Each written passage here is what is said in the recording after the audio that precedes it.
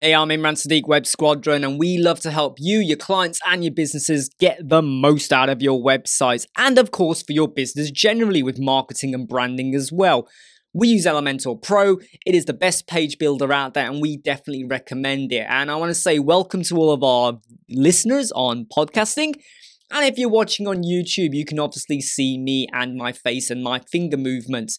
And I hope you like, subscribe, share, and follow. Now, today we're talking about graphical representation on your website or your social media. In the old days, I used to use Photoshop a lot. I don't use that that much now, mainly because of the monthly cost. If you are fine investing in that, go for it. But I found it was just starting to get a bit pricey for me. But I did used to use Photoshop a lot. Been using it since 2007 with my lovely digital tablet. Enjoyed it. loved doing lots of creative art and stuff.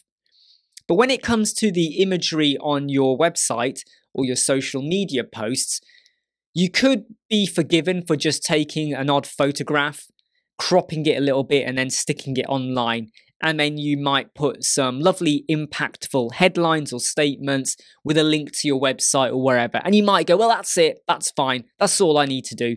In fact, I've seen a lot of web designers out there where they have photos of them where they're kind of gone away on a trip somewhere and it's just a photo of them standing in front of a building or next to their friends. And they stick that a lot on social media, but they're advertising themselves as web designers and whatever. And the bulk of their photos tend to be of them just walking around. There's nothing wrong with that, but you can maybe try and make them a little bit more interesting. And this is where I'm going with this. Now, I just want to quickly put a caveat in here that when you do do social media or postings, you don't really want to be just focusing on your business. So you don't want to be saying, hey, look, use me. We're a web designer. This is what we do. This is what we build. Of course, you want to show natural things like you're going to the park, you're going shopping, what are you eating, what's your children doing, what you're doing with your pets. Show that you are human, you know, you enjoy life. People will probably relate, resonate, and connect with you and hopefully trust you as well. What I'm getting at is that when you have images on your website or your social media, do they connect back to your brand? Okay, so that's really what I want to get to here. And if you're still listening, I'm sorry if you kind of went, where are we going with this? I'm talking about your graphical representation. So if you've got a website and your brand is, say, um, orange, let's just say, okay, and your website is mainly white with orange pops everywhere, you know, to really highlight the orange, bits of black, greys, stuff like that. But the focus is the orange that you really want to draw out. And you're then using a lot of images in your website that are yellow and green. You're breaking the orange theme here completely, aren't you? And you or even the grey theme, however you've got it doing. And if you're doing a lot of images on your social media as well, it's okay to be natural and show where you are and what you're doing in the world but there's nothing in there connecting back to your brand as well. Now, please do take note that if you use your social media not to promote your business at all, then do what you want. You don't need to um, do anything I'm telling you to do, just carry on with your life. But if you are trying to make that connection back to your brand and your business, then maybe inside of your images, you might have a logo and I don't mean a massive logo. I'm talking about a small logo. Could be like a circular logo, like a favicon or something like that. Or it could be a horizontal logo, whatever you want. And you might have it in the top corner of your images or the bottom of your images along the bottom. You know, you get the idea. So you're going to go with something that kind of connects back. Now, I don't do this all the time on my social media, but nine times out of ten, I will just put the word Web Squadron just so it's there. So if anyone sees the image or the or a quote I've put on the image, and I'll come back to that in a moment, they're going to remember it came from Web Squadron, Imran Siddiq. They're going to hopefully make that connection. And hopefully they will come and visit our website, click the link, or just remember us generally. So let me now just answer my question about graphical representation in three quick steps.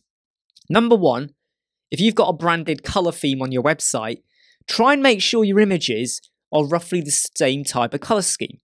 Okay? Number two, if you're going to do any social media posts, maybe again, if they are very strongly connected to your business, because that was the basis of the social media platform anyway, why you set it up, again, make sure the colors are connected to your business. Or number three, if you're not too bothered whether it's about your business or you, a logo in the bottom corner or the top corner isn't a bad idea. Again, you're kind of reinforcing your brand. Now, when I mentioned right at the start Photoshop, and even back then when I was using Photoshop, I had to back then you didn't have a monthly license. You paid for like Creative Suite. You paid six, seven, eight hundred pounds, whatever, for a license, which back then was quite a lot of money, believe me.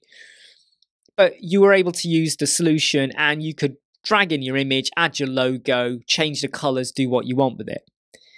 Then you had solutions coming along like GIMP, uh, Photopea came out, uh, you know, and there was other platforms you could use that were more cost effective.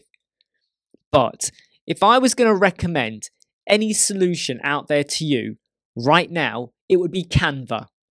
Canva.com is a powerful, amazing solution. There are limitations to it that I will talk about. But if you're trying to do amazing social media posts, whatever size you want to do, or website images, you know, full screen, whatever size, and you want to have access to videos, um, uh, sounds, uh, images, animated, wording, whatever, Canva is super, super fantastic. I'm not here to advertise Canva to you, but I just want you to know that I cancelled our Photoshop license two years ago. Okay, I might go back into it using an alternate free solution like Photopea if a client sends me a document and I've got to go into Photoshop because of the format. Other than that, and that is very rare by the way, I use Canva.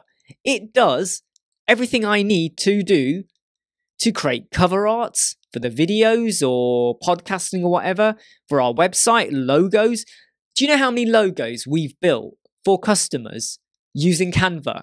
You'll be shocked. So many. And you use so many different elements and you tweak them to make them unique. So it doesn't look like Mr. You know, paperclip, clip art kind of imagery. No, we make them unique as much as we can. But what's really great about Canva is that it also has like a freehand tool. So you can actually draw on screen as well. Now, the limitation is it is not as sophisticated as Photoshop was or other solutions in drawing or sketching or things like that. Even layering, there are limitations and deleting stuff. So if you're after a real graphical powerhouse, you're going to have to use a different solution.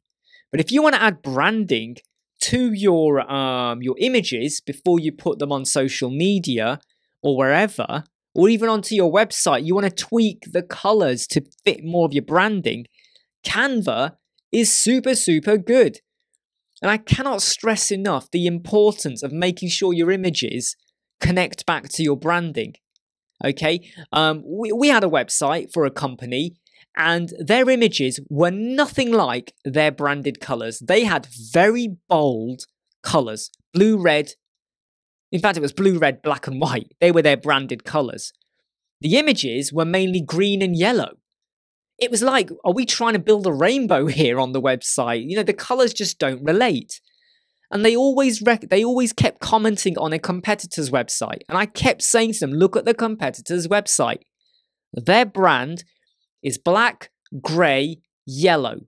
Look at their images they have been very clever in ensuring that their images are very like um diluted in terms of like so it's very grey. In terms of saturated sorry is the wrong word not diluted. They're, they're, they're, they're not too saturated but they were cleverly saturated a bit.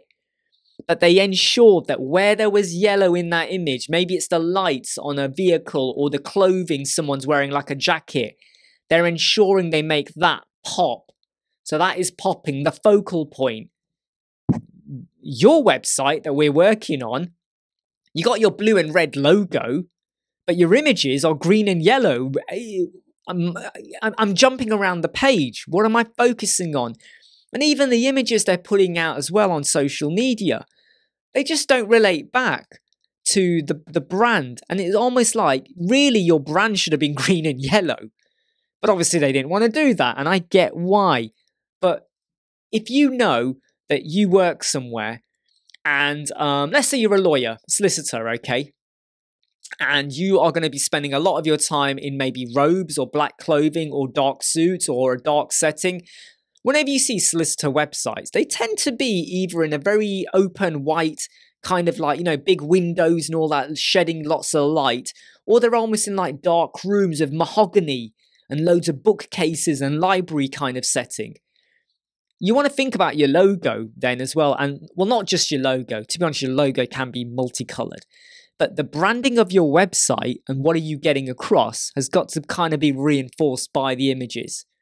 That is not entirely true, by the way. Okay, so I'm not trying to say to you, right, go out there and change every image you've got, but it does have to connect because once you make that connection, you are kind of um, uh, reinforcing what people are expecting when they come to your website as well. So if I see a social media post and it's all pink and lovely, right, and most of your posts are all pink and lovely, and when I come to your website and it's just um, black and white, and there's hardly any pink anywhere except for a little logo in the top corner, I'm going to go, oh, your website feels quite cold or um, um, depressing or just um, um, dark or moody or whatever. I was expecting something really vibrant. Just like the other way, if you flip it, if your images are quite dark, and when I go to your website, it's all neon, luminous colors everywhere. Why was that not reflected in your images? So a lot of a lot of what you do out there in terms of graphical representation of your brand in your website and your social media can make a massive difference, okay? And just look at big um, businesses out there, competitors, look at what they do for their marketing and how clever they are in trying to get across a certain type of a color scheme. Look, um, uh, if you're in the UK, look at Tesco. Look at look at what look at their adverts. Look how they're very clever on the colors they use, which come back to their brand and their theme.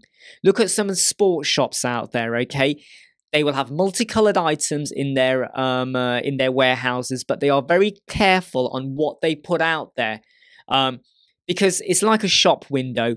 The window of the shop most likely, not all the times, but those that care, most likely will again reinforce the branding and the color palette of what is the business all about. I hope that makes sense, but I definitely recommend Canva. Okay, canva.com. We pay for the premium version. Uh, it's about £11 a month, which I know is £11 a month, but the extra features we get with canva.com are amazing, and we seriously recommend it to anyone in web designing or anything like that as well. And it helps you create web proposals as well. I hope you like, subscribe, share, and follow if you're watching this on YouTube. And I hope to be back with another episode very soon if you're listening on podcast. Take care. See you soon.